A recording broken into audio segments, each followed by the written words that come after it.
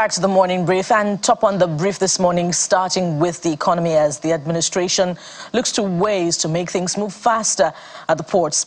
The president has inaugurated a steering committee for the National Single Window Project. This initiative is aimed at providing a comprehensive trade facilitation system in Nigeria and ensure faster cargo clearance at the seaports. We cannot afford to lose an estimated 4 billion in US dollars annually to red tape, bureaucracy, delays, and corruption at our ports.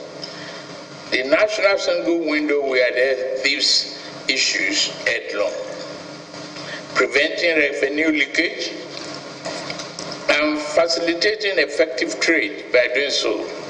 We will create a more transparent, secure, a business friendly environment that will attract investment and spur economic growth. This initiative will serve as a catalyst for achieving an average GDP growth rate of 7% annually, propelling Nigeria to new heights of prosperity. Paperless trade alone is projected to bring an annual economic benefit of around 2.7 billion USD a testament to the transformative power of this initiative. In terms of opening the, the, the land borders, consultations are already in progress, some of them at very high level. Uh, over the last weekend, I was uh, I had an interactions with my colleagues in the Benin Republic. Earlier, I'd gone to our borders in Niger Republic. We are looking at the issues that led to the closures of the border in the first instance. The International Monetary Fund, IMF, is reviewing its economic projection growth upward for Nigeria for the year 2024 to 3.3% from its earlier 3.2%. Speaking during the release of the World Economic Outlook on the ongoing IMF World Bank spring meetings in Washington, D.C., the director of the research department of the fund also projected a downward trend in the country's inflation rate to 23% later in the year and 18% in 2026. Inflation continues to come down. Median inflation will decline from 4% at the end of last year to 2.8% by the end of this year and 2.4% at the end of 2025. And most indicators continue to point to a soft landing. Resilient growth and rapid disinflation are consistent with favorable supplies developments, including the fading of energy price shocks and a striking rebound in labor supply, supported by strong immigration in many advanced economies. In Nigeria, steady but actually rising this year from 2.9% last year to 3.3% this year. Uh, we've seen uh, an expansion from the recovery in the oil uh, sector with a better security situation and also improved agriculture, uh, benefiting from the better weather conditions and the introduction of dry season farming. Uh, so there's a broad-based increase also in the uh, financial sector and the IT sector. Uh, inflation, yes, it it has increased. part of this reflects the the reforms, the exchange rate, um, and it's passed through into other goods from imports to other goods. So this explains also why we revised up our inflation projection for this year to 26%. And with the kickoff on the, of the IMF and World Bank spring meetings in Washington, D.C., debt and climate finance are back on the agenda. Nigeria's delegation is being led by the Minister of Finance and Coordinating Minister of the Economy, who emphasizes the need for the country to ensure it registers its voice as an important country in Africa and the world. He spoke with our London correspondent, Juliana Olayinka. Nigeria has to be at the table. Nigeria has to have its voice heard as a as an important country, not just in Africa but in the world, given the size, the uh, population, the resource endowment of the country, and of course, um, it is uh, one of the largest democracies in the world, which is a, also a very important factor. It gives us an opportunity on the world stage in front of the most important uh, financial decision makers, and of course, the whole world is watching. The private sector, in particular, is uh, takes their signals from some of the conversations that go on, and it's an opportunity to uh, showcase uh, the achievements of the macroeconomic reform process of President Bola Ahmed Tinubu. Is an op- opportunity to um, say what has been done so far and also to indicate the direction of travel in which we are going and give people an indication of um, where things are likely to go next. And of course, although it's early days yet, it is a success story in the sense that um, the president set out, first of all, to stabilize the economy that he met, which was one, as we know, that was uh, uh, very lopsided. It was one that uh, the financial situation was unsustainable. The fuel subsidy spending uh, generally was um, way out of line with the revenues. And as we have seen, particularly in terms of uh, what the central bank has done in stabilizing the exchange rate, uh, um, together with uh, the help of the rest of the economic team, the security uh, um, network also came in to play an important role in removing uh, some of the wrongdoing and some of the illegality that also uh, was was putting pressure on the exchange rate, and of course on the fiscal side, um, on the government side, on the government revenue spending um, uh, spending side, we took a leaf from what central bank indicated, and have helped to. Um, raise interest rates to a level where we've been able to attract foreign exchange liquidity that has stabilized the foreign exchange uh, rate, or in fact reversed its free fall, is the best way to put it. Away from the economy now, the Minister of Water Resources and Sanitation says part of the 148 local government areas in 31 states of the Federation fall within the high flood risk areas. He said this during the public presentation of the 2024 Annual Flood Outlook for Nigeria at the Nigeria Hydrological Services Agency in Abuja. Meanwhile, at a separate event, Minister of Agriculture and Food Security, Mr. Abubakar Kyari, asked farmers to take advantage of the seasonal rainfall prediction to increase agricultural produce in the country. Letters and annual flood outlook publications with maps have been dispatched to the governors, while the exact local governments to be affected in each state and the expected level of flood are detailed out accordingly. Regrettably, there have been farming seasons in Nigeria when farmers did not take advantage of the institutional advice from NIMET and on their own misread the rainfall pattern, only to face dry spells that invariably ruin their crops and livelihoods.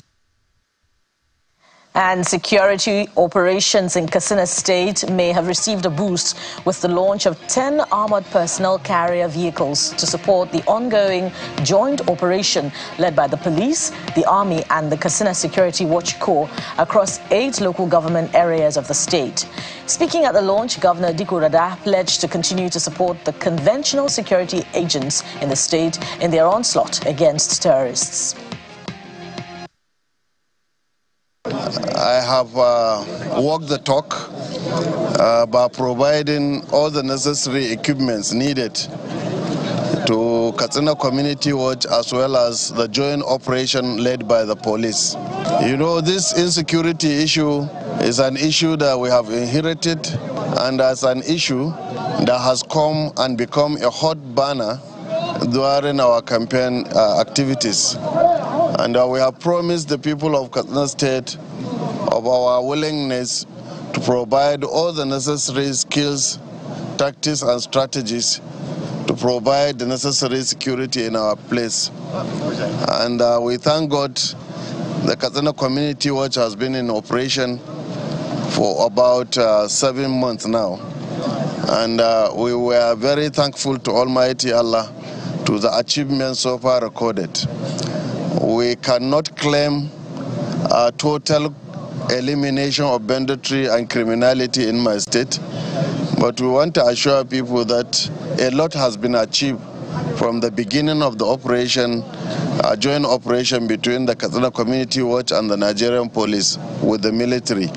In fact, a lot of things have been achieved, but we are still having challenges in some of these frontline local governments. Uh, bandits have been going to villages, killing people uh, unnecessarily, uh, killing them and running away, and then burning some of their properties.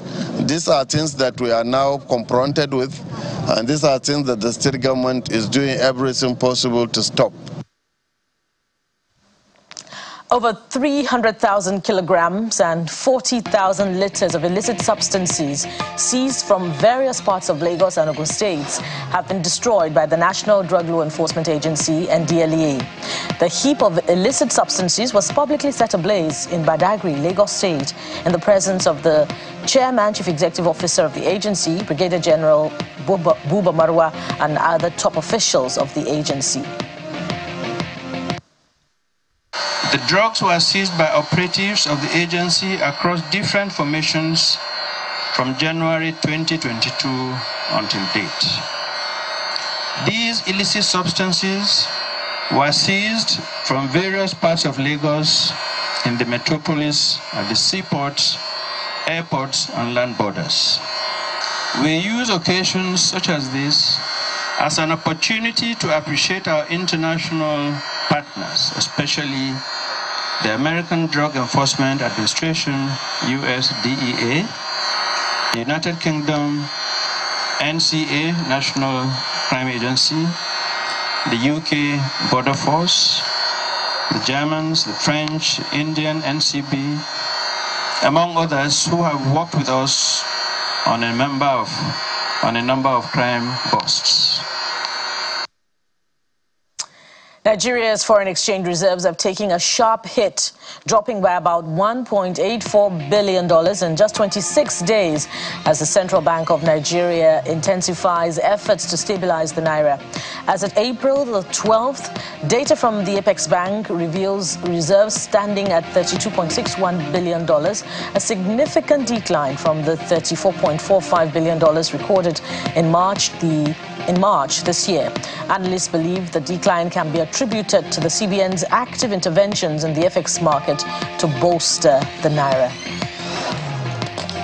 And outside our shores, Jury selection has resumed on day two of former U.S. President Donald Trump's long awaited hush money trial in New York, marking the first time that a U.S. president, former or current, has faced a criminal trial.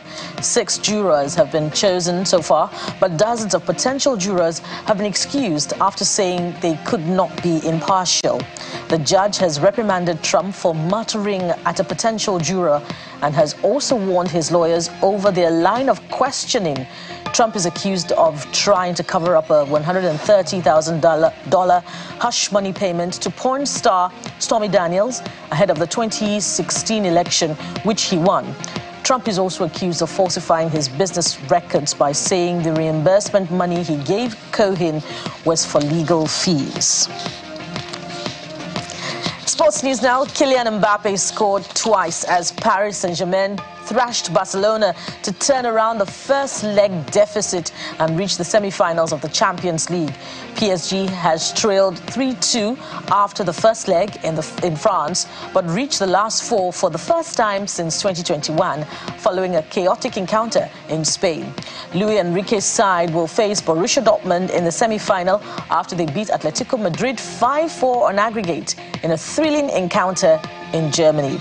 In the meantime, Borussia Dortmund reached their first Champions League semi-finals in 11 years by producing a superb second-half comeback to beat Atletico Madrid 5-4 on aggregate. Yes, so many surprises from the Premiership scene. Uh, there are more surprises, uh, you know, from what, some of what you're saying about the top stories. Speaking of which, Kadi joins me now. Uh, hello, Kadi. So, what resonates uh, with you? you? are losing touch on your football thingy. You've not been watching football. You know, during the Nations Cup, you were hands-on. Okay, so I should watch more of. You should watch more of it. Okay. You know? So, so you know that's European League and Okay. not the Premier League. Okay. It was UCL last night, and it was a very big night. Bukola has this very brilliant football mind. when, when she's you're ready very, for you're it. being very kind, Gadi. I mean, thank you. You've had very good ratings of Bukola. We're considering do we loan you out to the sports desk? Desk, But right? We'll think about that later because they're too valuable to us.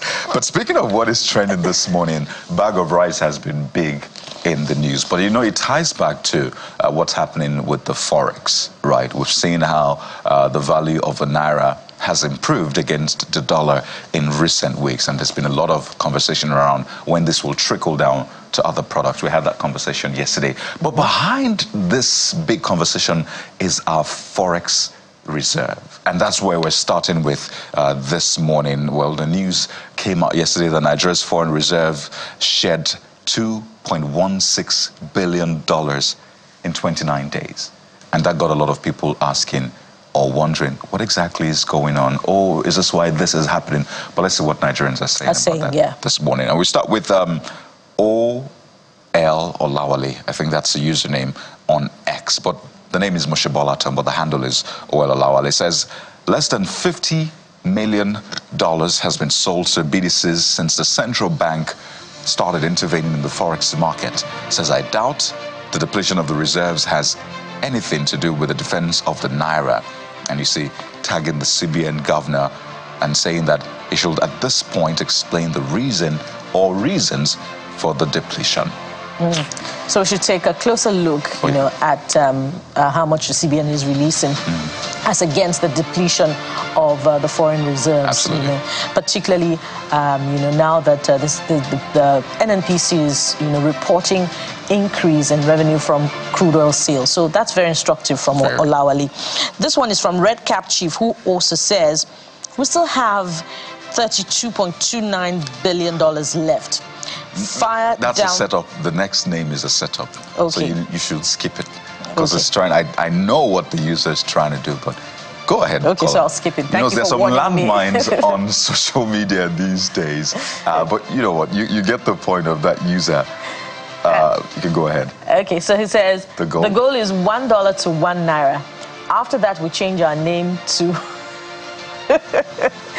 I don't know if this is patriotic, but he says change our name to USN and rub shoulders with America. That's United States of Nigeria, right? Okay. Okay. Okay. There's a lot of sarcasm in that post, by the way. A lot of it. Uh, but Huge dose of it, actually. huge dose of it. Uh, but we understand the lingo on social media. Well, the next one is from um, Alex OK Obasi, and also about this one says, "Oh yes, it's better we use our FX reserves to defend naira and reduce inflation. We possess lands and cars in case of challenges tomorrow. You sell it and solve your problems." Life continues. Okay, I, I see we are doing a lot of sarcasm this morning, or not. It's really hard to tell sometimes, but that's Yeah. what this user thinks. But we must, you know, what happens to our shock absorber? So that goes back to the conversation about creating value, you know, such that we can also even increase our forex reserves and not rely on our forex reserves to defend the naira. Uh, so um, on to the next conversation, which is about uh, the EFCC's activities, you know, seen in the uh, arraignment of Pascal Chibuike Okechukwu, popularly known as Cubana Chief Priest, on Wednesday for abuse of the naira, and yes. that has got a lot of Nigerians talking. Uh, let's do some of what you're saying. This one is from X Plus, uh, the handle release, Amda Zuriel. And uh, they say, yes, this is a good step to revive the value of Naira. If you don't value that, you have what you have, how do you expect others to value it? All those that keep breaking laws should know that once the executive arm of government decide to empower the judiciary, they will be in serious mess. Oh, yes. So we're looking forward to uh, that arraignment today, by the way, Wednesday. And it's uh, uh, what three count charge uh, was dated uh, 4th of April. Rotimi Oyedepo and other lawyers for the chairman of the EFCC.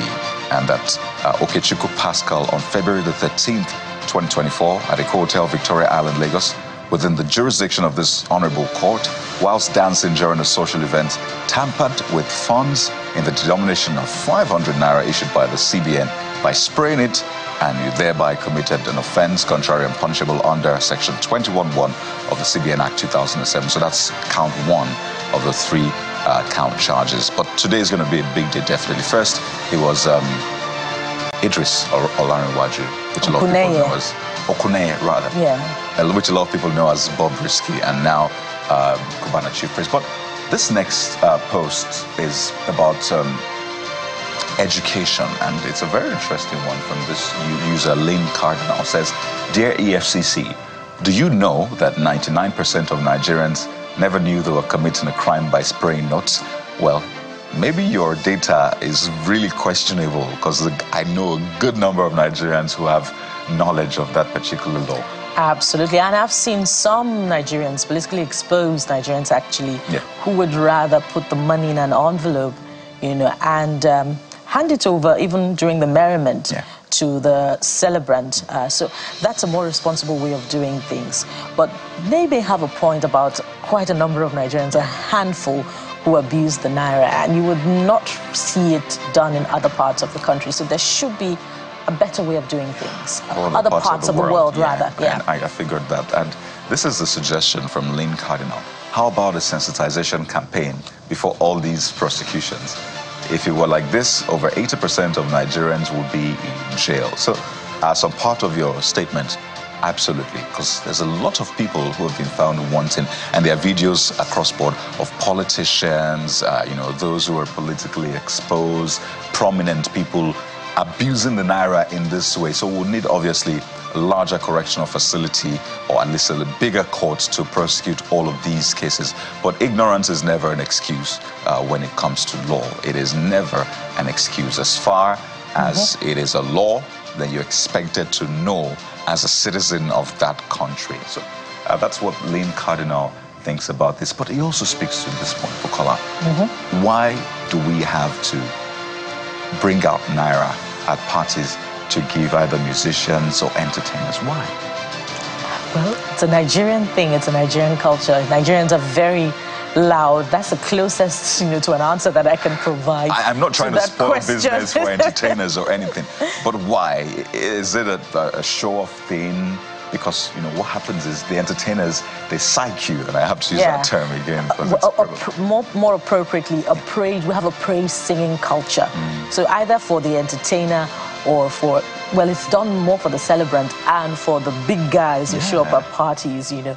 And it's a time to demonstrate their for, for lack of better description, big big manness. Big manness, right? I mean, you have to put these terms in from time to time. Mm-hmm. So hopefully this will curb some of those excesses because you don't find that in other climes, as mm-hmm. you have mm-hmm. said, Kola.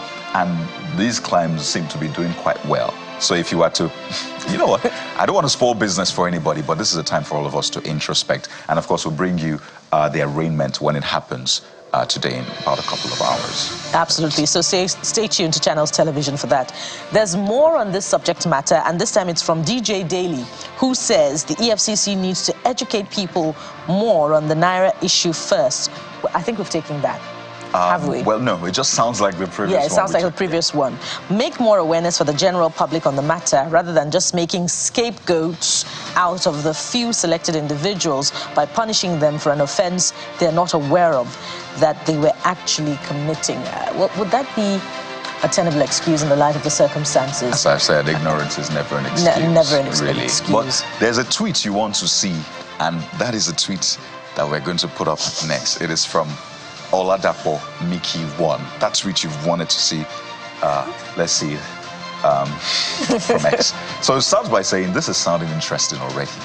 But then goes on to say, hope the EFCC will do same to politicians too, because there are endless videos of politicians abusing the naira too. So that is a post that mm. I'm sure you've been looking forward to mm. seeing mm. about this particular conversation. Mm. Yes, in fact, we've seen governors spraying the naira, throwing it out of their vehicles, as though the naira during political campaigns, you right? Know, flinging it here and there. Uh, some people even dancing and stepping on it, and it just goes to show how prevalent this has become. But guess what, Bukola?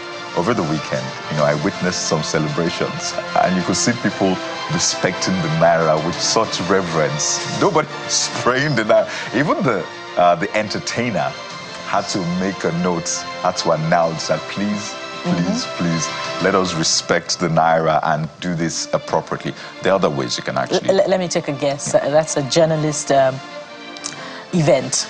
an event or an event by journalists? No, no, actually, it was it was just a, a normal event. Okay. I see where this is going. journalists aren't the only knowledgeable people. Yes, okay. they unwind from time to time and yeah. they bring in their knowledge.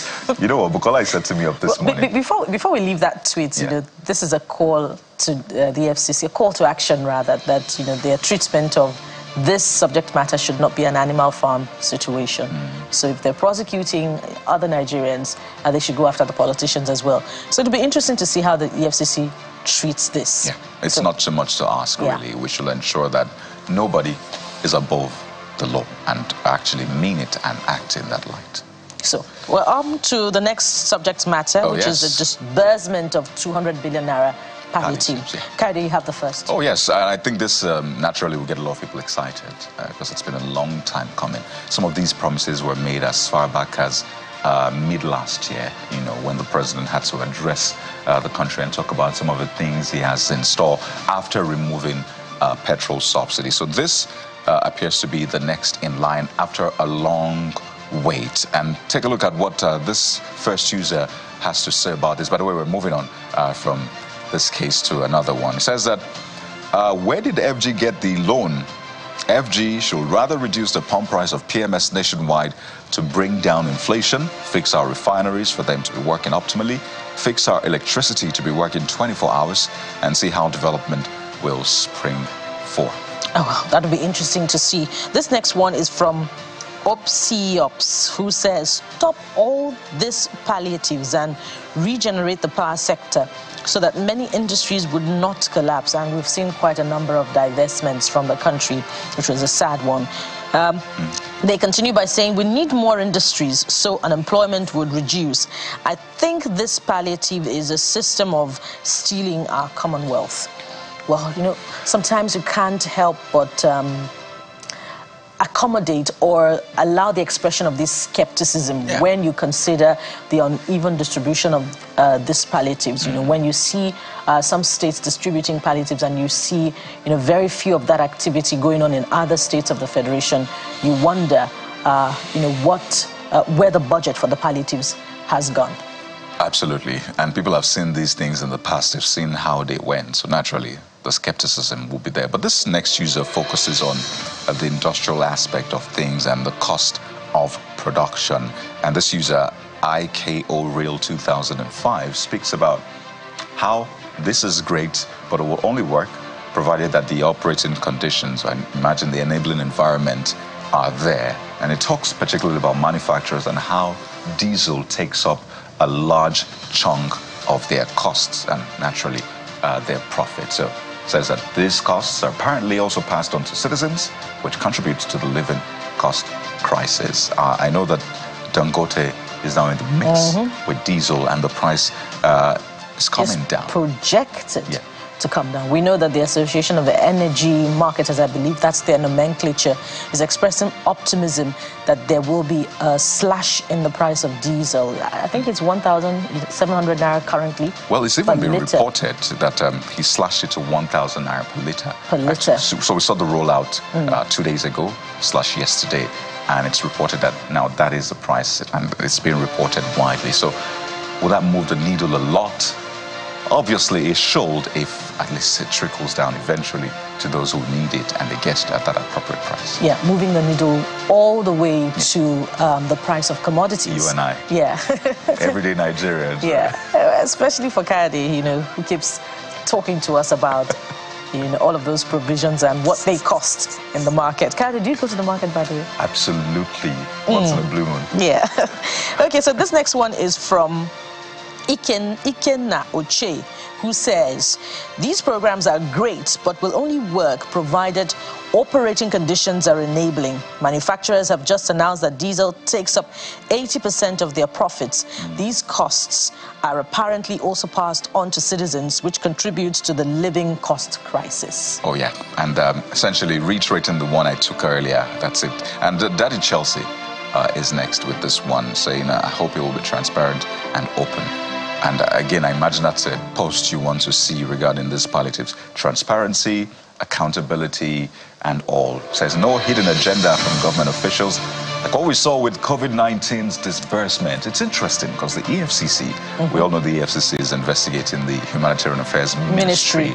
Uh, from the previous uh, ministers, the suspended minister, then the SIPA head as well. And they said that they are actually also investigating a COVID uh, 19 fund disbursement scheme. Yes, they said they've not cleared anyone, but when you read that statement and see the quantum of funds that have been recovered and what is being investigated, mm-hmm. Nigerians are, are right on the money when they say they are skeptical and they want this to be transparent. Yeah, let's have all of the details yes. and perhaps, you know, a publishing as well of those who are culpable um, in the investigation. And this last one on that subject matter is from Dami uh, handle Adebanjo underscore Jami, who says, Many registered for this scheme but didn't even receive verification code.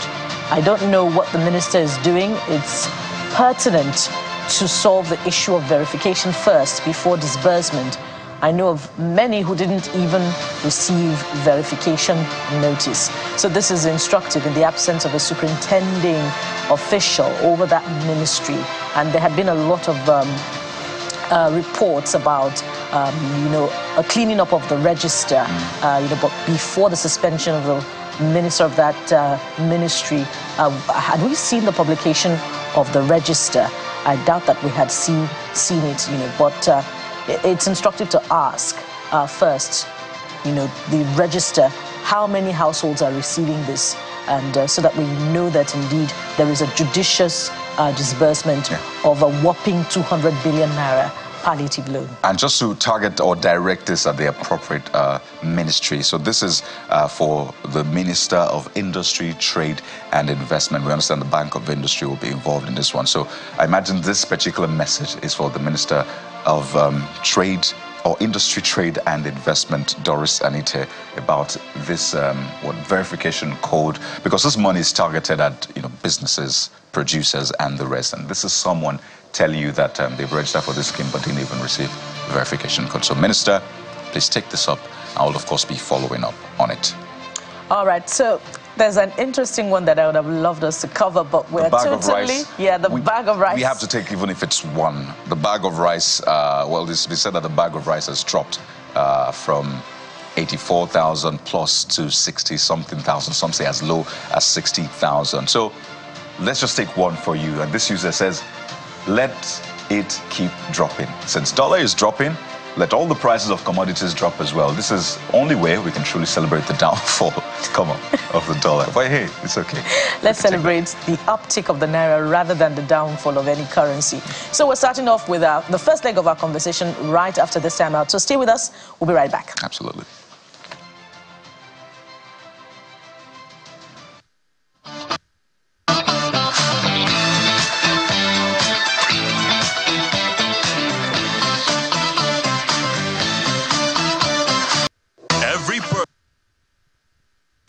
Subject to the rule of law.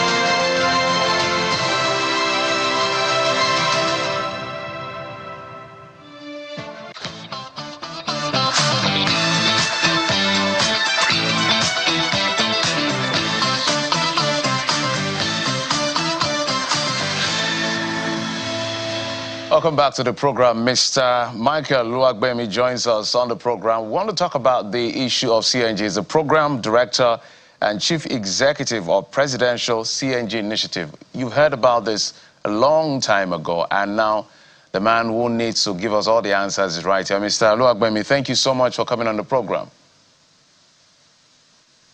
Thanks for having me. Good morning. So let's begin with the natural question, I guess, that Nigerians are asking. How far with the CNG initiative? Uh, what stage are we? Uh, what is going on? When are we supposed to see things rolling out? Uh, thanks once again for having me, and good morning to your listeners and viewers. Uh, six months ago, the president announced the formation of the Presidential CNG Initiative uh, with uh, uh, Dr. Zacch Adedeji as the chairman of the steering committee, and uh, of course, the empowerment of our, of, our, of our management team led by myself.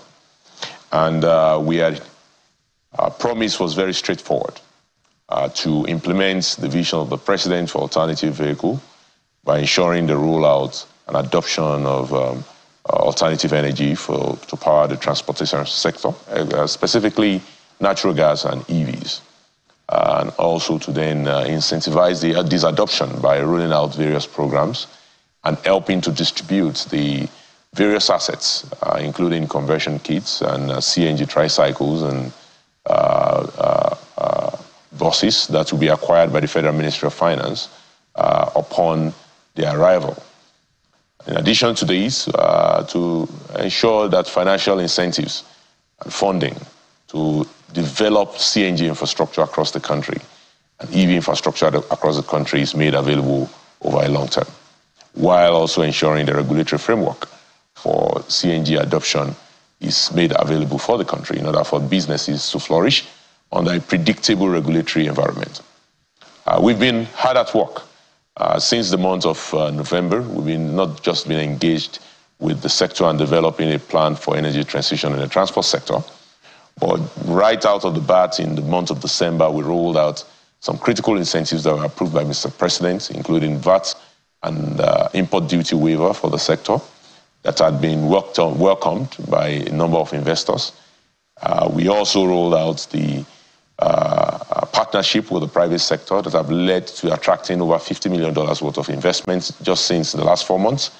Uh, that is now currently developing uh, at least uh, over 80 CNG sites, including a couple that were launched last week, uh, last weekend actually in Ibadan, with one of our major partners, uh, that's the Bovas uh, Company, and, uh, Company and Limited.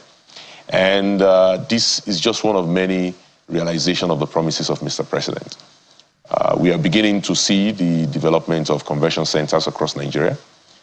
with less than seven of them at inception just six months ago, we have over 40 of them currently, and uh, continue to grow.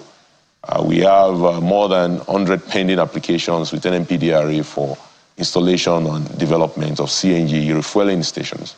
A number of CNG mother stations have been developed also.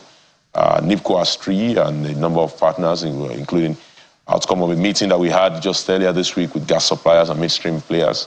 A number of them are developing these mother stations as well as daughter stations to distribute CNG across the country. These are one of many uh, outcomes of the work that we've been doing in the last months.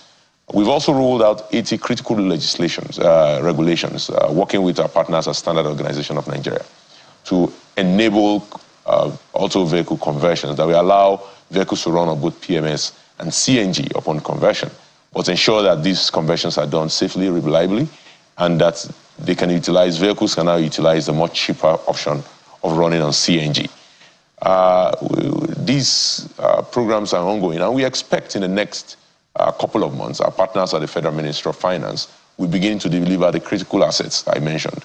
Over 20,000 conversion kits that were distributed through our over 20 affiliate partners across the country, located in about uh, 18 states, more than 5,500 tricycles and CNG buses that will also be distributed through uh, to uh, private sector uh, transport operators and um, labor union affiliated operators that will enable us to have these vehicles running across the country. Again, a journey of a thousand miles started with the first step, I think we're in the right direction. Uh, we are galvanizing critical stakeholders, including uh, even the academia. Uh, we're working with over 10 universities to roll out a campus equivalent of this program once we receive these assets from the Ministry of Finance. Uh, we are working very closely with uh, unions, including URTW, URTN, and NARTO, to ensure that the road transport unions and operators are tuned to the requirements of the sector and open to converting the vehicles to run on natural gas. Nigeria is a gas country. We're blessed with gas. There's no reason why we continue to depend solely on uh, PMS and diesel. Uh, the reality is that countries like Japan, in, since 1984, have converted their commercial fleet to gas. And this gas was sourced from Nigeria. Then they use that gas to manufacture vehicles made with PMS and diesel and then turn around to export that to Nigeria. So it's about time Nigeria starts using our natural resources as a competitive advantage, and that's what we're here to do, to enable. Uh, quite a, uh, some ground that the presidential initiative has covered there. But I was also hoping that uh, you would touch on um, progress on that announcement by Mr. President uh, nearly nine months ago now, I believe, at the time of the setting up of the initiative, that uh, there would be purchase of um, uh, CNG powered buses, you know, particularly after the removal of fuel subsidy, and for which the Senate is, as a matter of fact, uh, investigating, uh, saying that uh, the 100 billion naira uh, was approved without, um, I believe, uh, outside the budget. Also, What's the update on the panel's inquiry into the release of these funds?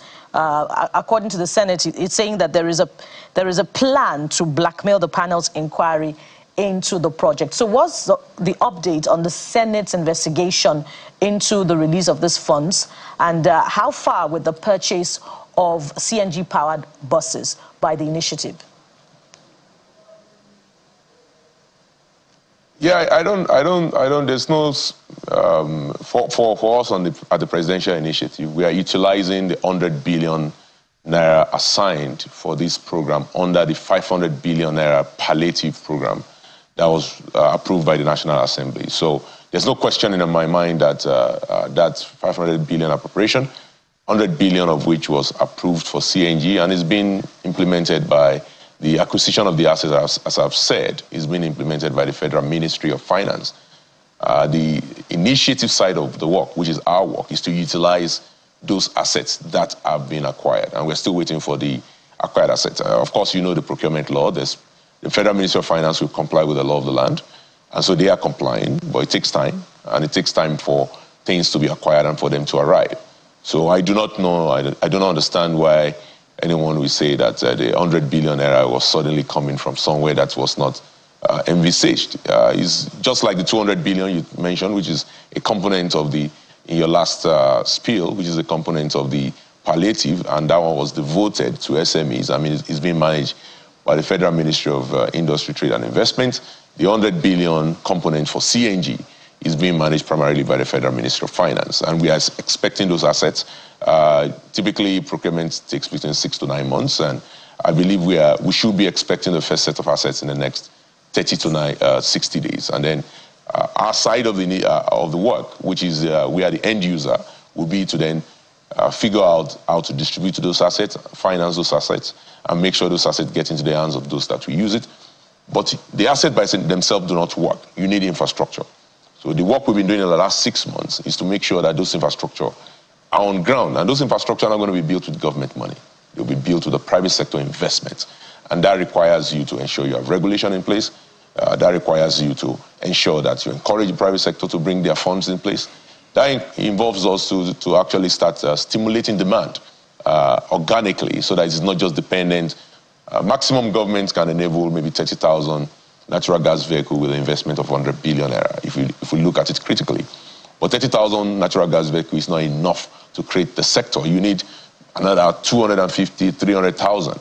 And the private sector needs to come in and do that investment. So our work as an initiative in the last six months has been to create the enabling environment for the private sector to participate. The 100 billion naira is only down payment by the federal government towards the future that is green, that is gas, that is EV. Um, and that, of course, that fund is being utilized spec- for specific purposes. Acquisition of CNG buses just being one of them.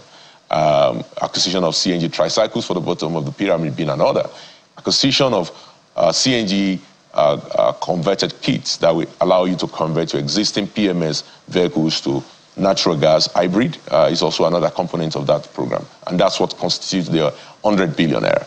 And uh, so uh, that is being done, like I said, and we're expecting to receive those assets. It is not being done by us. It is being done by the Federal Ministry of Finance as appropriated by the National Assembly. Uh, so the committee might be looking at the wrong place, I think. So you're saying that the purchase of the buses is not being handled by the uh, presidential initiative on CNG, but by the Ministry of Finance? Absolutely. That is being done under appropriation by the Ministry of Finance. The uh, uh, presidential CNG initiative is an initiative out of the Office of the President uh, does not undertake uh, a procurement of assets. Uh, but can you tell us what component of that fund uh, will cover the purchase of the CNG buses and the CNG powered tricycles? How much of the 100 billion naira? Oh, you have to speak to the Minister of Finance for details. That's, again, that's within their own purview. Uh, but I do believe that we're expecting uh, at least uh, at the first phase of the program about 500 buses and about uh, 5,000 tricycles. Uh, just before we, we, exit this matter, how true is it that uh, there are quite a number of buses that are waiting um, importation to Nigeria in Germany, about 65 of them, and it is, you know, some uh, administrative issues about um, bringing them into the country that is delaying uh, the importation of those buses into Nigeria? I'm not aware of that, and I don't think it's part of this program. Uh, and let's put this in very clear context. I know the Ministry of Finance uh, strategy for the acquisition of buses to make sure that those buses are actually assembled in Nigeria. That includes tricycles, so I don't think they will be subject to this kind of delays you're talking about. And 65 buses in the next of what we're talking about as a country that has 5 million, 6 million commercial vehicles is a, is a drop. Uh, I, I, don't think the emphasis of our program should be acquisition of buses, no. Uh, the emphasis of this program is how do we move Nigeria to have a million natural gas vehicles in the next four years. And you can only do that by mass conversion. So we'll be rolling out a conversion incentive program in the next 60 days that will enable Nigerians to convert the vehicles to run on both PMS and uh, CNG. Uh, acquiring few buses and distributing it for the purpose of palliative is just that. It's not uh, a core component of this program. The core component of this program is mass conversions, and that's what we're focused on. Mm. But a lot of Nigerians will remember uh, how the president addressed the nation July 31st uh, last year, and he spoke about how uh, we're going to be rolling out CNG buses as a solution to ease the burdens created by the removal of fuel subsidies. And that's why we're having this conversation, uh, because CNG is that alternative, or at least provides an alternative which has been said to be cheaper and all, such that people don't have to rely heavily on PMS. So you can imagine why Nigerians are I wouldn't say impatient, just expect what was promised. July 31st last year, it's almost a year. I remember that the president spoke about uh, making provision to invest 100 billion naira between July and March this year, July last year and March this year. For a lot of people, as I've said, that's a long time already, and they expect to see things moving really fast in that sector. But let's step back a bit. Some work is being done. I understand that the kits are being expected and will be deployed. But one question still uh, is in the air, and I wanted to address that quickly this morning. They say charity begins at home. How much uh, of an uptake do we have within government itself? I've seen private people convert their vehicles, even if we don't have as much, you know, uh, will I say, support, the stations and the rest. But in government, the was it the presidential fleet, the fleet uh, for other government officials, vehicles for ministers and the rest. If we want to cut costs, that's a brilliant way. So how much uptake do we have already? Yeah, brilliant question. Uh, again, this is part of the work. Uh, again, in a context of where we, are, we, we have not rolled out infrastructure, uh, where there was no regulation, this was what, where we were six months ago where there was no sufficient incentives in terms of either the vehicles being available or the cylinders or the kits uh, in the country, then there was paucity of adoption. But what we've done in the last six months is to enable a much more rapid adoption, and that includes adoption by government institutions. For example, in the last month, uh, we, we partnered with the Nigerian Army. We've trained about 42 Army technicians that is going to undertake the conversion of the Nigerian Army fleet. The Nigerian Army is the biggest user of diesel and PMS in the country, with operations in 36 states of the Federation. And that's a significant part of Nigeria's budget. As you can imagine, uh, Nigeria's defense budget is, I think, it's about uh, 18 to 25 percent of the budget. So that's the biggest component chunk of Nigeria's government expenditure. So if you're talking about charity beginning at home, uh, we're leading with the Nigerian Army and uh, various other government institutions, the Navy, the Air Force, uh, FRS, uh, various, including government offices and ministries, are beginning to indicate uh, willingness to partner with us. Pardon me, uh, Mr. But our kickoff of the program with the Army in the last, uh, pardon, the last pardon month me, uh, if I could just successful. quickly put this in, uh, forgive me. So that's more like charity beginning on the war front, not at home. You- You're about military, and it's brilliant to see. Well, we were uh, there. Without- when I mean at home, I mean in government, government officials, president, and I'm being particular here because well, that would set a tone for other Nigerians that, oh, if the president's fleet has CNG vehicles, if we have the minister's cars with CNG, uh, absolutely, this is something to do. The Nigerian Army is part and parcel of Nigerian government. The president is the commander in chief. That's the second title. Uh, so I do not understand this is being started at the war front. No, the, the Nigerian Army is part and parcel of government. Uh, we uh, intend, and, I, and I'm very sure, uh, the president's uh, team, including ourselves, myself, uh, we will ensure that vehicles that we use, because it just makes sense. It doesn't make sense for me to be using uh, petrol at 630, 640 naira when I can buy CNG at less than 250 naira. And the car will run cheaper, run cleaner, and run, run uh, safer and more reliable. As soon as those kits are made available, again, the reality today is that in the entire country, uh, we have less than, and and we've done a census of this in the last 60 days. We have less than 400, 500 kits available in Nigeria today, right now. Uh, so what we need to do first and foremost is to make those kits available. And that's what we are trying to ensure happens in the next 60 days. And once that becomes available, uh, government institutions, a lot of them have already raised up their hands to say they want to participate in this. Uh, uh, the, the Nigerian army just being one of them. But for us, it makes sense that we start that engagement from the most difficult potential operational rollout, in this case, the Nigerian army, to see how, uh, number one, to ensure that their technicians are trained. They have uh, uh, workshops across the country. They are the biggest user. So if we have savings from the Nigerian Army front, then we have savings for the entire government. So uh, I don't I don't agree with you that the Nigerian Army is not home or the war front. The Nigerian Army is home. The Nigerian Army is working with Nigerians in 36 states of the Federation. So it's home. So we, we feel very comfortable and very happy. We've been happy with the pilots that we've done with them. We trained 42 technicians in Lagos and in Abuja in the last two weeks. They graduated last Friday. Uh, kudos to them. Uh, they are ready to begin to implement uh, conversions as soon as those conversion kits are made available.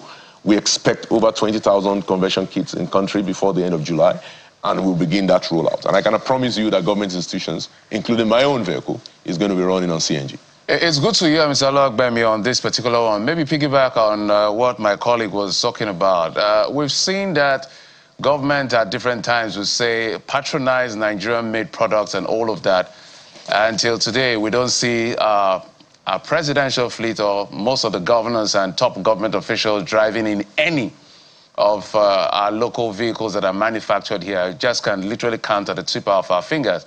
That's why we're poking and asking that question. Now that the CNG is here, uh, hopefully it's going to roll out pretty soon. Uh, lead by example so that it builds confidence in the mind of the people. Uh, it's not every time we see the army. They are not supposed to be seen all the time. But these politicians and the leaders of our country, we see them all the time. So if I see the president's fleet, or the governor's fleet, uh, vehicles having all of this, it builds confidence. So that's exactly what we're, and we're going to be looking out for it. And we'll keep asking that question until we see it done, including your own vehicle, since you're the leader.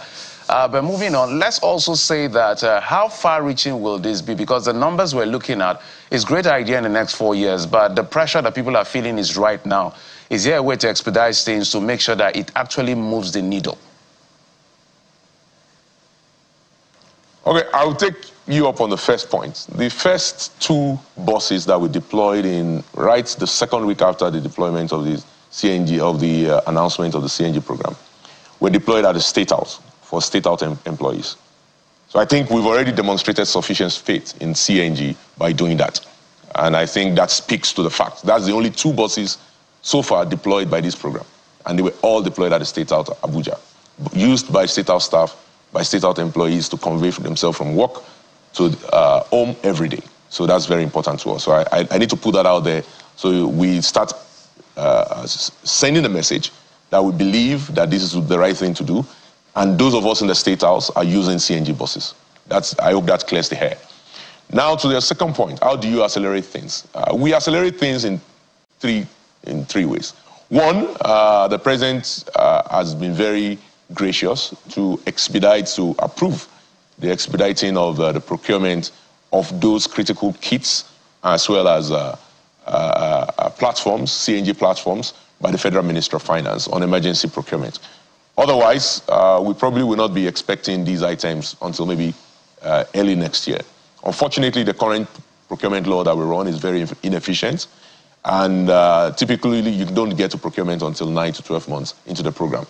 Uh, but because of the approval of Mr. President, we're expecting some of these just six to seven months into the program. So I think uh, that's one thing we need to keep doing, at least for the next four years, to ensure that we can uh, get these items on time. Secondly, we can also expedite matters by engaging the private sector. Like I said, the government by itself alone cannot potentially buy all the conversion kits, like the 1 million conversion kits that Nigerians need to convert a million vehicles that will save us $2 billion yearly uh, in the next four years. We need the private sector to come in. And what we needed to do was to ensure that we have a very clear regulatory framework so that the private sector, sector can invest. Uh, not just framework for conversion, but framework for refueling, framework for CNG processing, framework for gas sourcing and supply. All of these, all the way from end to end of the value chain, from nozzle to pump, as we say, we needed to develop a regulatory framework that will enable investment. And that includes incentive programs like the duty waiver and the exemptions that Mr. President has now given. This is very critical uh, uh, to expedite the uh, adoption of CNG across the country. Last but not the least is that we also require injection of development funding, especially from the point of view of the infrastructure. We need infrastructure for, uh, uh, for CNG distribution in the country. We need virtual pipelines, we need trucks, we need refueling stations, about 3,000 of them. We need mini LNGs across the 36 states of the Federation. We need uh, critical investments, uh, funding for pipelines, uh, the AKK pipeline to land in Kano, distribution pipeline to go to the northeast and northwest and across the country to land critical gas across the country that allows processing stations, CNG mother stations to then be developed. These critical development and infrastructure funding is also required. And I think, uh, as you see in the with a renewed Hope invest, uh, infrastructure fund, that will then be able to come in into the CNG program because transportation is one of the critical sectors that the RHIF is supposed to invest in. So you can see end to end that uh, the Mr. President is committed, he's passionate about uh, Nigeria's transition to CNG. Uh, he's passionate about Nigeria's transition of the transportation sector to cheaper, safer, more reliable energy. And that is why he's doing all the things he's doing, right from the point of view of expediting uh, procurement uh, of the uh, catalyst items, asset I, I, call them, because really those are just a very small drop in the ocean that is required. But also ensuring and enabling the necessary regulation that allows the private sector to come in to do the quantum investment that is necessary to move us forward and also enabling Indeed. infrastructure investment that we allow. Indeed, Mr. Oluwagbemi, it's, it's an ambitious program uh, that, uh, you know, it's a giving that you require the engagement of the private sector. And I see that there's been some activity in that regard in the last few days. Uh, and that is why we hope that Nigeria can follow the example of China by expanding local capacity and ensuring that even if we do not have a manufacturing component of uh, uh, electric vehicles or CNG-powered vehicles, at least there is an assembly component. We hope that, you know, that assembling co component can be engaged to also uh, intervene or uh, uh make available the CNG buses. But conversion is certainly not cheap.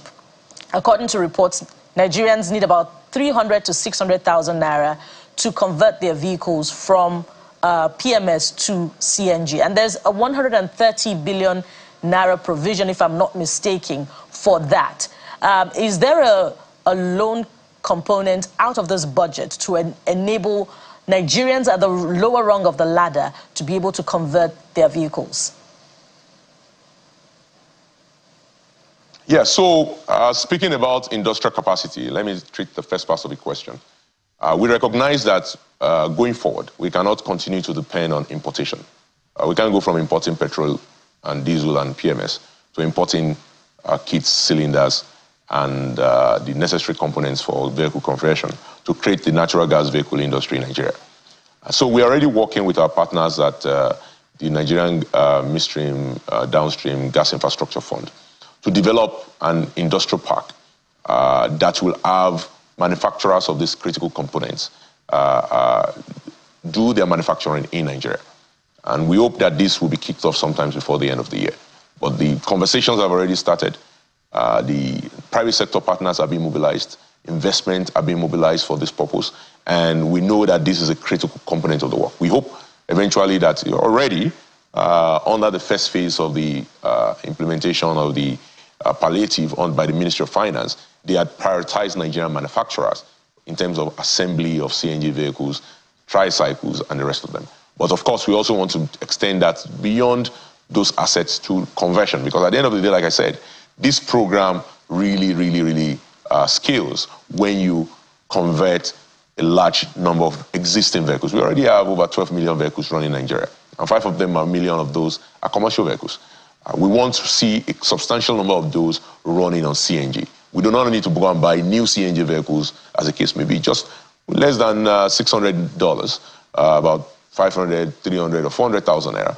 Most of these vehicles would conveniently run on a fuel that is 40, 50% cheaper than PMS and diesel. So that's what we want to do at scale. And that requires us right. to manufacture the cylinders, for example, which are very critical uh, in, in Nigeria to manufacture the conversion kits, to manufacture the uh, computer module that uh, drives the injection of, uh, of CNG into the, into the vehicle uh, combustion system, side by side PMS. So all of those things can be manufactured in Nigeria. So we believe that Nigeria can awaken our manufacturing capacity. And we're working with the Ministry of Steel, we're working with the Ministry of Transportation, and I, uh, I we spoke to this uh, three weeks ago when we launched the Army program. Right. And that plan is on course, and I believe that you'll be seeing more of this, and as we roll out our details and plans for local manufacturing for the CNG right, program.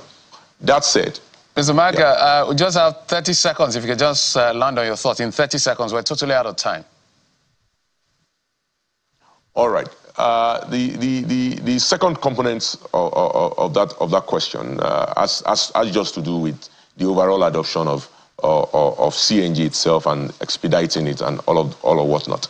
I think ultimately it will depend on you and I. It will depend on Nigerians uh, believing that we should use our own natural resource to actually develop this country. And that requires our own commitment, uh, either in terms of our Naira and our Kobo. But the federal government will help. The conversion incentive program will be rolled out in the next 60 days. Uh, that will enable critical sectors of the economy to access Absolutely. this conversion, for example, at a discounted price. Uh, this includes mass transit sector, rideshare owners, uh, institutions, governments, as you as you already mentioned.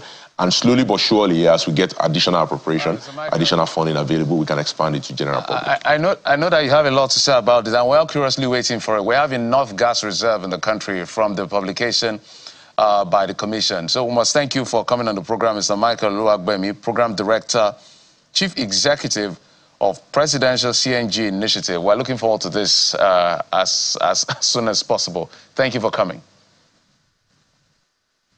It's a pleasure. Thanks for having me. We'll come back after this break. We're shifting gears. The president actually declared April the 7th National Police Day. What does that mean to, for the police force and for all of us who they serve? We'll explain all of that. The guests will join us to tell us what it is. Join us again. We are upgrading your equipment and technology to enhance operational effectiveness and efficiency. This includes acquiring people purpose equipment, weapons, ammunition, and armored carriers to provide cover and protection for officers in combat situations. The 7th of April is hereby declared National Police Day in Nigeria.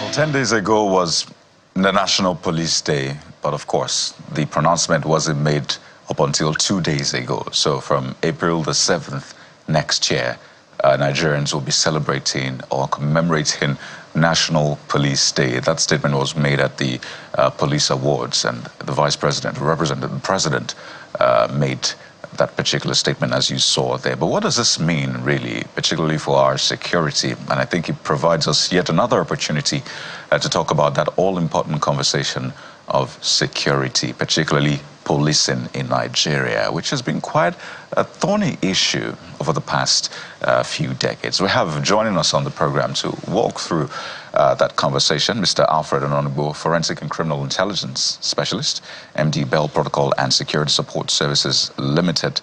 Uh, wears a number of hats. Fellow Chartered Institute of Forensic Investigation Professionals and fellow Chartered Forensic Fraud Investigators of Nigeria. Joins us virtually on the program. Good morning, uh, Mr. Ononugbo. Good morning, and uh, it's always my pleasure to be with you. Absolutely. I know you are forensically looking at that uh, pronouncement. April 7th uh, is our National Police Day. So speak to us. Uh, how does this change maybe the optics how does it change things in any way? Having a National Police Day, a day set aside to celebrate our police and you know talk about the issues that affect them, which by the way is a lot. So for you, what do you see? Yeah, um, let me first of all appreciate the men of the Nigerian Police Services. Um, you know, often um, the police are often viewed from not too encouraging perspective by most Nigerians because they do not know the situations and circumstances under which they seek to deliver their services. So let's um, appreciate them, and I, I, I, really do. And I want to thank the IG for hyping and bringing up this initiative at this time. Um, preceding the, the National Police Day was the Police Week, which usually is from the 1st of April to the 7th. So every first week of the year is uh, they commemorate and you know mark the police week.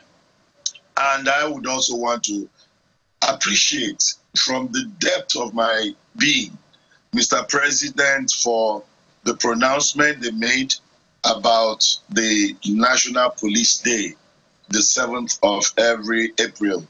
Um, this is commendable there's this saying that when you appreciate the little people do, you motivate them to seek to do more.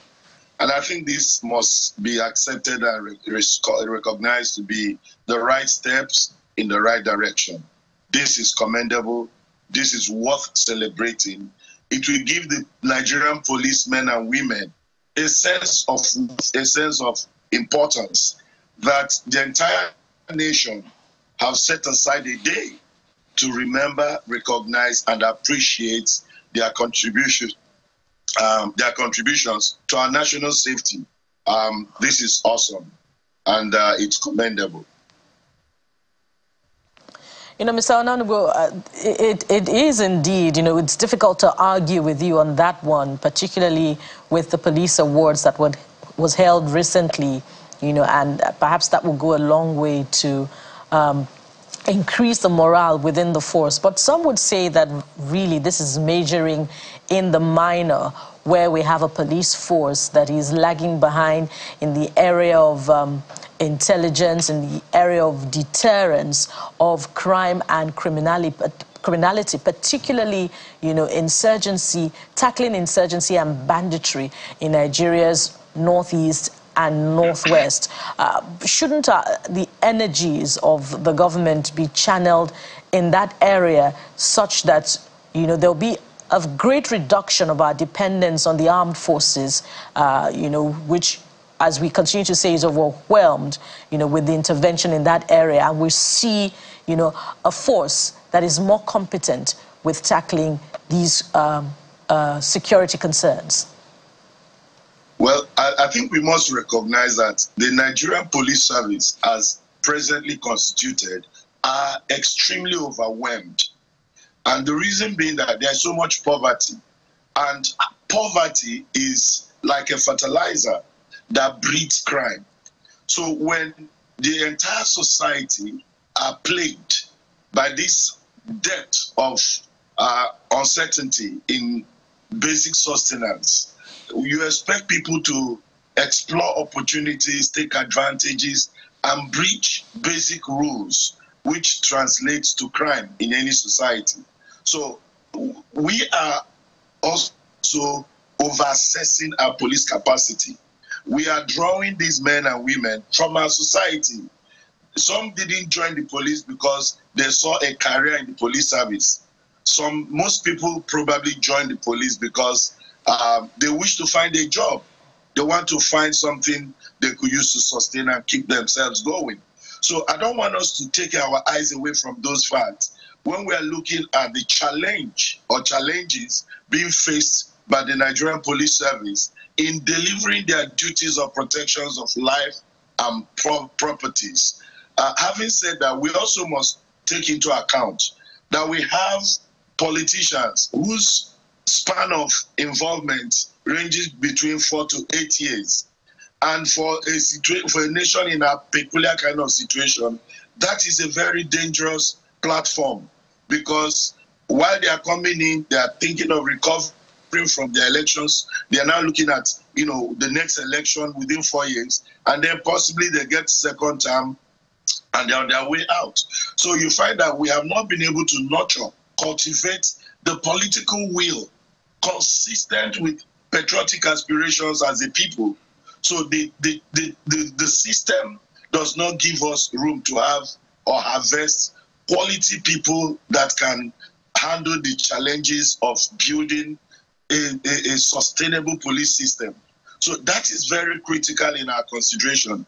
But that is not to make excuse that the police have not been able to, you know, benchmark their their their their their their, their duties and their obligations to the nation in terms of dealing with uh, the issues of intelligence, issues of uh, manpower development, issues of engagement, and all that. So we have this complex mix that's confronting the, the performance and the activities of the Nigerian police, and also the, the difficulty they have in dealing with the quality of men we have in our political class. Now, you can't get clean water, like I always say, from a poison pool. Our politicians come from our society our policemen come from our society. So you can understand that we are coming from a shared value, shared, you know, challenges, and um, it takes sincerely um, professionalism and exposure for people to cultivate that sense of okay, let me go give it, do it for the land, do it for the nation. It's not about me. So there, there are challenges, but I think we start somewhere we, we've started, the president has started by recognizing that this institution has so much to give and have given a lot. They've lost men, they have a lot of challenges they go through, they have challenges with equipment, training opportunities, internal issues, and the quality of people they also have in their rank and file in leadership. Because it's not just about the, the, the, the institution of the police service, but also the people running the system. Some of them come with baggages. Some are coming from ethnic or political or religious, you know, privileges. And they bring these things to the service. So they, they become challenges, they become, you know, issues they deal with internally. And these things affect their output. It affects the quality, it affects their, their commitment to run investigations without bias, without pressure, you know, there are situations they arrest people. Somebody makes it just a phone call, and they have to begin to think of the safety of their jobs. So these are elements we might probably deal with over time, depending on the type of leadership we have in our nation. But um, we must appreciate that we've come to accept that there is a 7th April, which is marked as the police day. And um, we hope that it will not just be another talk show we do with these days, but we will be able to review the two sides, what the government is doing to ensure that are, the country is policed, the content we are building into these men to ensure that we have capable and well qualified professionals that will enforce our laws. And also, even the lawmakers should be able to provide incentives that can motivate people who love this country to want to serve this country in the police service. All right. I know that in America, I think in May, they've been celebrating this since the 60s. I think National Police Memorial Day also, that's what it's called there, to highlight the concerns of the police force, as well as, you know, remember the men who have laid their lives down in, in the line of duty. And so I want you to speak further to the police force in this particular context, because this is like um, their own Armed Forces Remembrance Day, which is quite popular on January 15th every year right here in Nigeria. So for them, how can they make the most of this particular um, day to, to call attention of government and everybody in authority to ensure that their needs and their welfare is sorted because that's a big issue, which is why Bukola was saying it appears like majoring on the minor because their welfare is critical uh, at the end of the day to be able to provide the kind of service we expect from our police force because at some point, you know, they drop the ball. That's why we have a lot of the army intervening in civilian issues. Well, we, you know, this is Nigeria, and uh, we are special in the way we do things. Most times, we don't want to build up to, you know, a, a goal. We like to respond to crises. We we make statements when things are bad and down. But I would want to think that um, we we we need to trust God for a generation of men and women who can join the service um, purely for patriotic motives, uh, not because they are ethnically inclined or privileged or religiously advantaged. You see, the America we often mention uh, uh, and quote most times is a society where patriotism ranks first. America comes first. And the same way you can use this patriotism to mislead the people, it's also the way you can use the patriotism to direct the people right um, we must not forget that policemen are Nigerians. So whatever affects most Nigerians impacts on the police service because they live with us, they go to the same markets. They, so if we are going to do anything, we must think beyond police as an establishment. We must look at the general society. We must, you know, the office of the citizens of Nigeria must become paramount. And that office accommodates everybody. That office has been missing in the polity of this nation. Of course, when events and ceremonies come, we mention it, but we have not been able to create and sustain the office of the citizens of Nigeria. We have Nigerians who don't have an office. But when you talk of the office of the president, you can see the glory, the candor, the pomp, the pageantry, you talk of the Senate president. People die to get into this because these are few spots where people are given statesmanship, not the nationhood. So we are not building often the nation as a people. And that is what is affecting the quality and content of men we deploy to different services. So we need to rethink and our our system needs to review this. When we promote citizenship, people will die for the country. They want to protect the country. Whether as a policeman in the UK or other countries, it's not only police that serves the people. Elderly people will tell you the color of a car they saw at a particular time in a location. And that will give police the clue that the crime that was committed must have been committed by a car carrying this number. They profile the, the information and arrive at an intelligence that helps them to, to succeed. But where we create offices and not people, that is dangerous. It is very, um, it, it is not profitable for the entire country. So few people benefit because they're able to access those platforms. So I'm looking at using this to make it a situation where Nigerians are built. Infrastructures will come with the, the specified content, not papers. You know, so when we have this and we are drawing men who are benefiting from the polity, from the system, to join any services, including the police. Their attitude to duty will be you cannot undermine the laws of the land. You cannot compromise, irrespective of your position.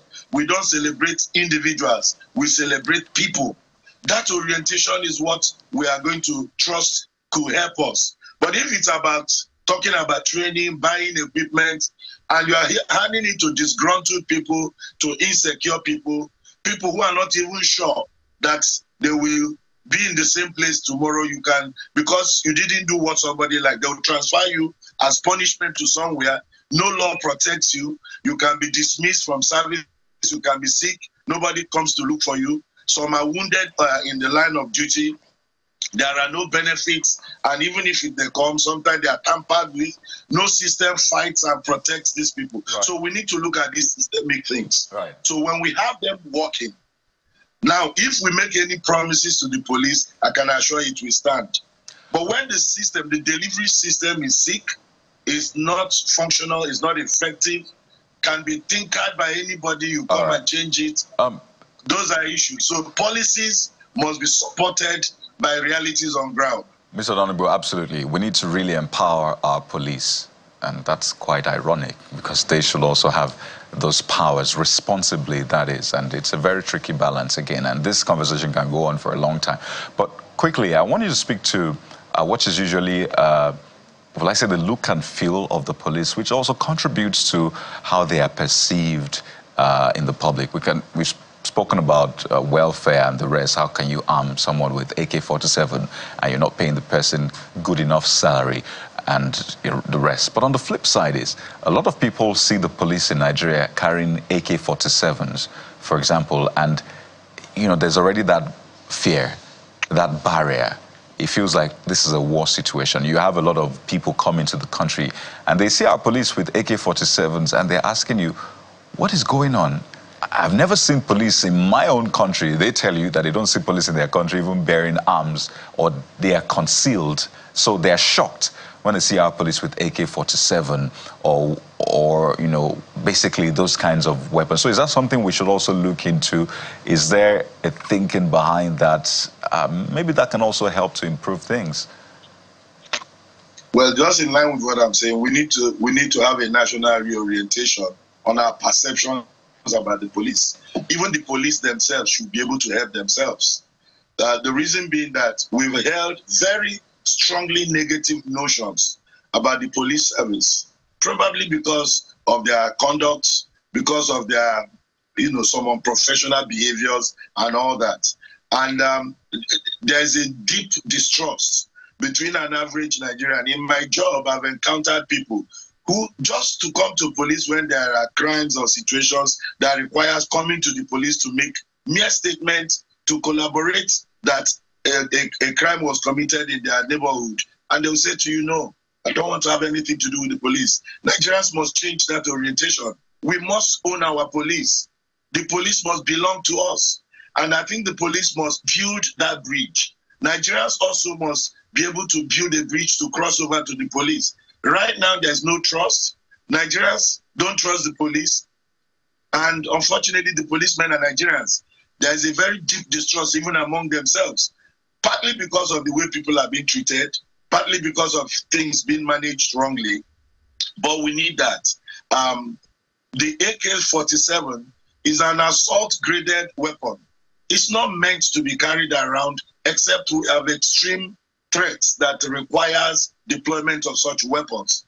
Unfortunately, it has become a regular, normal part of the kit of an average policeman. You can't see most policemen, in fact, you can hardly see a policeman with light weapons. They move around freely with AK 47. The question is are we at war? Yes, we are. We have moral wars, we have distrust, there is deep sense of enmity, not spoken, but in, in conduct between Nigerians and those that are meant to protect them. And sometimes the way some Nigerians are treated. And then finally, the media. The media must help build a good reputation for both Nigerians and the police. You see, people take to what they hear. Many times, these things are unsubstantiated, but it's easy. I watched a clip this morning a young man playing prank on people, and he will approach them and say, They are shooting there, they are shooting there. Even people with arms we start running because we have gotten used to rumors, hearsays, and that has molded the way we perceive these services. So Nigerians need serious reorient- reorientation and it must be driven by the police in their character at the station, the way they receive and treat Nigerians. We take people will take there are police stations across country where you walk in, you get properly received by the DPO, but you will be wrongly treated by the people at the counter. And it is taken out on the police. You get treated wrongly by, you know, a, a man that have chosen to exhibit indiscipline, but because he's wearing police uniform, people will conclude that that's the way police are. So these orientations must be aggressively driven. The change must come from also within the police. There must be punitive measures for anybody that violates the rights of Nigerians. But there must be severe penalties for any Nigerian that you know that you know uh, disrespects or breaches the privileges and rights of a Nigerian police, policeman. There should be no room for sacred cows. If you if you if you insult or disrespect a police officer, Important points that you that you make there, and it's they're quite difficult to contest, uh, Mr. Honorable. But earlier on, you also made some critical points that I'd like to follow up. You talked about the importance of offices and the need for policies to be in line with what's on ground in terms of realities. Speaking of which, how important, how strong is the Office of the Police Service Commission and uh, the Ministry of Police Affairs to demand better funding for the welfare needs of the Nigeria Police Force? but certainly if they are doing excellently well, we'll be feeling their impact. And it has to do with who they put in those offices. I don't want to mention names, but I know that we've had uh, chairmen of police service commissions who were up and doing. We've also had those that gave ceremonial patronage for either supporting politicians or whatever. Um, some of these establishments must be carefully um, assessed, and then people being given responsibilities must be by merit. It shouldn't be by any other consideration because police is the life of our society. It's police that keeps Nigeria moving. I know the army is there, the immigration, they have other services, which I highly respect and commend their roles. But the police takes the bullets every day. So we need to look at putting men based on merits to some of these offices, based on antecedents, based on track records, so that we don't have people ceremonially ceremonially occupying offices, but they are inca- incompetent, they are incapable of even interpreting basic security. I, I, I did something funny recently, and I asked somebody, I said, by the way, what is the meaning of police? You are a police officer. And he said, oh, police, we are for protection of life. I said, no. I mean, the definition. The police is an acronym for public officers, for legal investigations, and criminal emergencies. And if you take that home, people know that I'm a legal officer, a public officer. My duties are for legal investigations and criminal emergencies, so they can define their existence. Now, when we don't have content, you just do the usual window dressing. Mr. Mr. And I think it's time the, the entire country you know, we take this as a project. So we don't lose sight of some of the important points you have made. I, I mean, it's really instructive. You've given Nigerians uh, the full form of the word, well, now acronym, police. So it's not just police, police, police. It actually means something. Public Officer for Legal Investigations and Criminal Emergencies. So if our viewer does not remember any other thing about this conversation, at least you remember what police means. But you know, we'd like to thank you so much, Mr. Alfred Ononugbo. Quite an interesting conversation around, you know, that critical part of our security architecture and our society, the police. Mr. Alfred Ononugbo, forensic and criminal intelligence specialist, thank you so much for forensically dealing with this conversation. It's always my pleasure to be with you. Absolutely. We'll take a moment now, and when we return, uh, we'll talk art. You might see Bukola get to do some painting, or even Jeffrey. Maybe me, but we're talking art uh, this morning, the kind that gets you inspired, just takes you to different world. That's in a few seconds. Stay with us on the morning.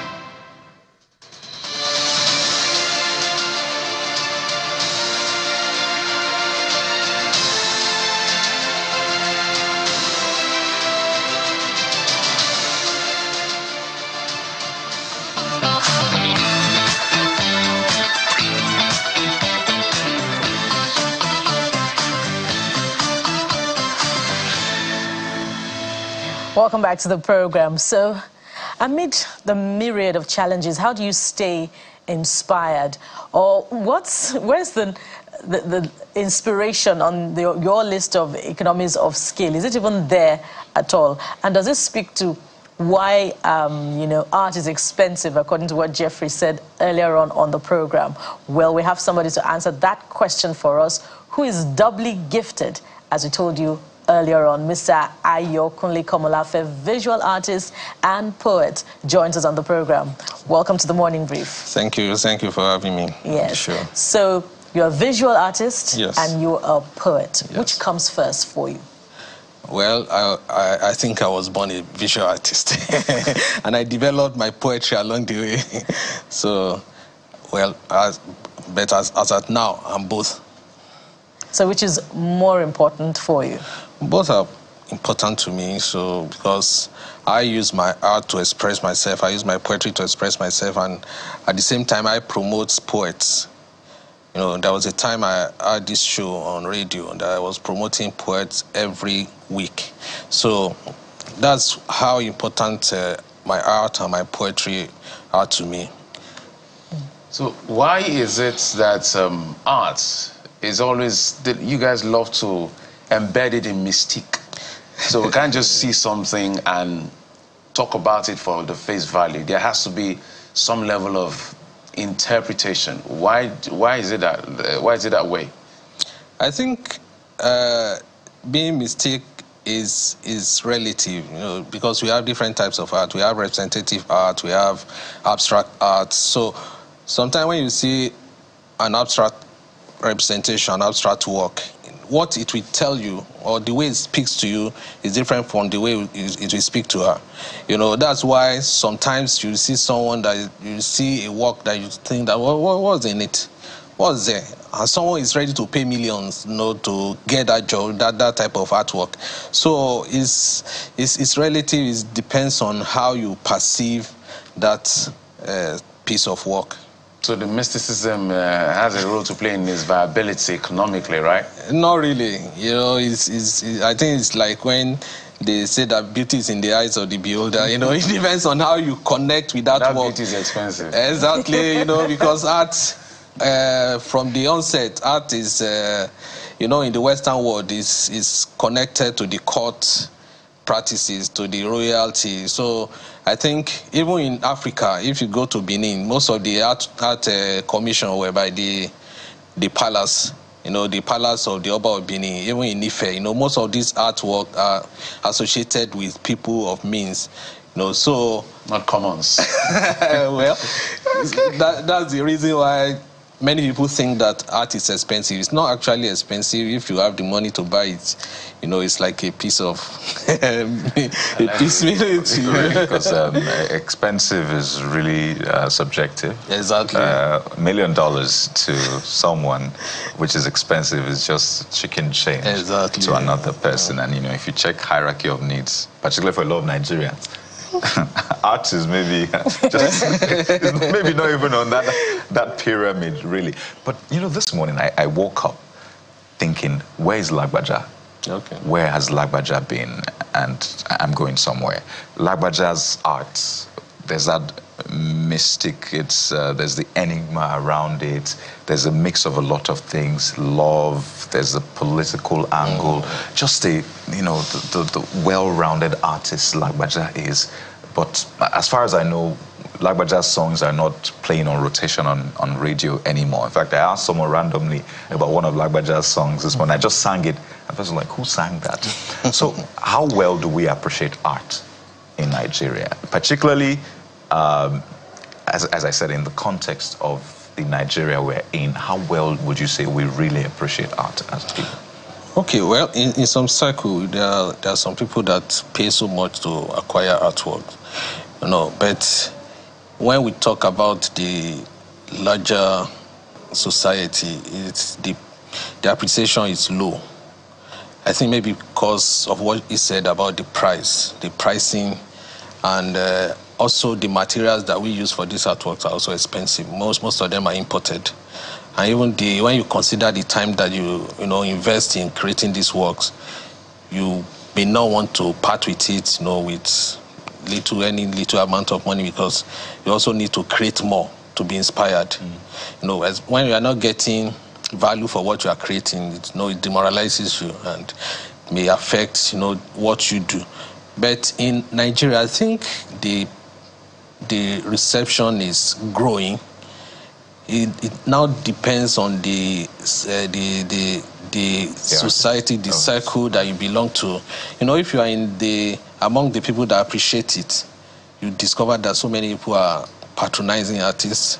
They are acquiring works. they go for art exhibitions. Exactly, art exhibition, visit galleries, and and also when foreigners visit, that's another avenue for artists to sell their artworks, and also through exhibitions and foreign views, auctions, and the rest. Well, speak to us about this vital point.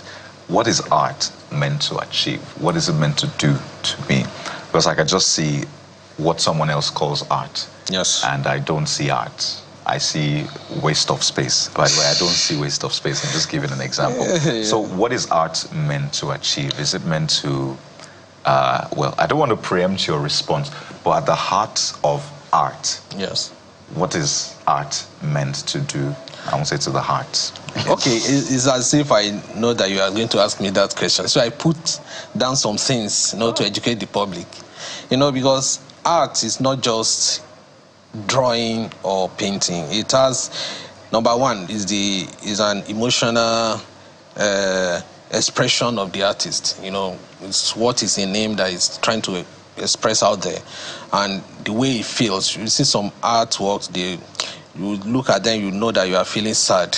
Some you feel happy. It depends on the color, the hues, you know, the the the subject that is representing that is mm. working on and also is also a, an avenue to preserve culture right you know most of the time we see an artwork we say ah, this is Benin art this artwork is from Ife this is Igbo-Ukwu and we see an artwork we say this is an Egyptian art it preserves culture and we're able to connect with our past Exactly. It's because of those artists. If, this has been in art, obviously. Yeah. you can see because when you just saw it, you see the representation yeah. of Benin Kingdom. I also, apart from aesthetic appreciation, people love it. It's it it uh, lightens up to say uh, a space. Uh, you notice that uh, most of the time, uh, the, there's something that happened yesterday, the uh, stock exchange in Denmark that got burnt. There's something that was said on the news that people rushed in to preserve the artworks, mm. you know, because of the value that they place on those mm. uh, those works. So those I, I also it's about social commentary. You know, when you look at the sleeves of Fela albums of old, their artworks and they're actually talking about what is happening in the society. Mm. And also, it's also about historical documentation. We are talking about cave art, uh, how, how, the uh, early men, how they were living their, their, their lives, they documented it in on the caves, in the drawings, and all those things. So it's about historical documentation, mm. and apart from economic impact that the country uh, can earn from. And you know, we could go on talking about yes. that and even ask, you know, what's the traffic like at our museums? You know, do you have that huge market of connoisseurs going to um, art galleries, you know, to uh, look at exhibitions? You know, we go on and on. Uh, but, but, let's move on to the poetry aspect of it. Okay. And, and, I have a question for you, but I, I don't think that we have time. But you, we have time enough for you to read some of your poetry for us. So uh, perhaps we could wrap up on that one. Okay, let me read this one. It's titled Untangle. Life is a moving train, moving endlessly to an unknown, unknown future. We are all its passengers, boarding and alighting with our needless baggage. We keep our heads high or low, depending on our numerous encounters. In the journey of life, the voyage can be so sweet, or bitter as it may. The storm can be so rough, or we pass through a calm strait. Regardless of what we find, no situation has ever been permanent. Every moment of our life slips into an unending story, story that is being written as a guide for our future beings. So no matter what life brings, remember it's just a phase. Happiness, they say, is a choice you make. Therefore, let's lose your troubles. Let them be washed down the stream. Keep your mind at rest and put all trust in God. The purpose of your life is bigger than your worries. Learn to be at peace. Live each day as it comes. The issue of life is like a fishing net. You feel you feel at ease when you make it your choice to let God untangle your beat. Hmm. Interesting. if I'm correct? Yeah, go ahead, Jeffrey. Uh, what, what, what, more do we need to add? it's beautiful, but Happiness just a straight choice. question. What right. inspired that? Uh, what inspired it was actually a program that we had in church that's called Untangle. And I decided to write something about it that we are going through so much in the world because we worry so much. But if we allow God to just take charge, we discover that what we were thinking that is trouble yesterday will become testimony today. Mm. So it's so beautiful because if we had time, there's something we wanted to, wanted you to do. Because if you look at Nigeria now, we have the good, the bad, the ugly. All right. The naira is fighting back record record strength, while the inflation is on record high. So I wanted to see how your you know, enigma uh, that you en enigmatically allow me to use that word represent all of that in poetry as well as in your, in your drawing. But we don't have time right. for that now. All right, all right we must thank you very much for uh, very much being on the program, Mr. Ayo Kunle yes. uh, Komolafe, visual art and poet. Thank you so much for your inspiration thank you, on the program thank today. You, so, if um, inspiration, if art was not on your economies of scale, after listening to that poem, we hope that we've been able to convince you to live untangled. Thank you so much for being on the program today. Join us again tomorrow. I am Bukola Koka. It was time, it was a great time to listen to that beautiful piece by the gentleman who just delivered it for us right here. And of course, I hope you're writing yours to change the narrative of Nigeria for the better. Thank you for watching. I'm Jeffrey Uzama. Well, happiness, they say, is a choice you make. So go out there, be happy, and make someone happy. I'm Kayode Okikiolu. Goodbye.